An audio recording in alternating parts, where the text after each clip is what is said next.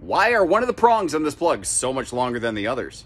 Because it's not just an optical illusion. One of those plugs is a little bit longer than the rest, and the short answer is because that's the ground. Because before you start running juice through a system, or before you stop running juice through a system, you want to make sure it's grounded first and last.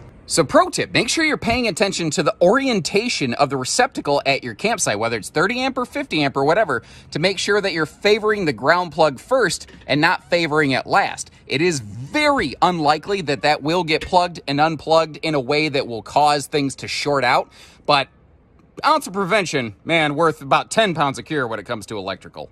That's also the reason a lot of extensions and pigtails that have a handle tend to favor it on the side of the ground plug. And now you know. So next time, all you have to do is say, Hey Josh,